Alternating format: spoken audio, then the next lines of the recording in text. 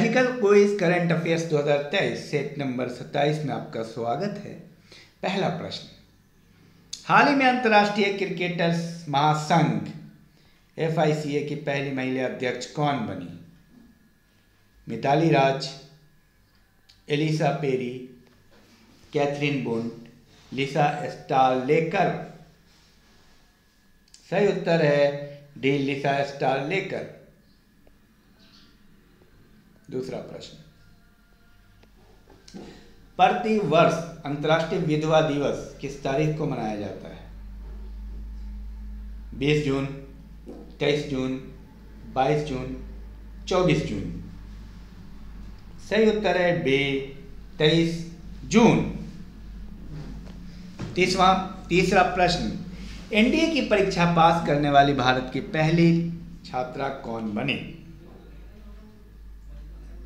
वनीता चौधरी, कोमल जाखर, शनि ढाका निधि गढ़वाल। सी, शनि ढाका। चौथा प्रश्न। हाल ही में किसे संयुक्त राष्ट्र में भारत की अगली स्थायी प्रतिनिधि के रूप में नियुक्त किया गया? ललिता वर्मन, रुचिरा कंबोज मीनाक्षी राव, ज्योति ओझा। सही उत्तर है बी, रुचिरा, कंबोज। पांचवा प्रश्न। 21 जून को कौन अंतर्राष्ट्रीय योग दिवस मनाया गया? तीसरा, चौथा, आठवां, दसवां। 21 जून 2022 की बात हो रही सही उत्तर है सी, आठवां। छठा प्रश्न। हाल ही में गोस्तावो पेट्रो किस देश के नए राष्ट्रपति बने? Bolivia, Brazil, Ecuador, Colombia. Gustavo Petro Gustavo Petro. सही उत्तर है डी, कोलंबिया। सातवां प्रश्न।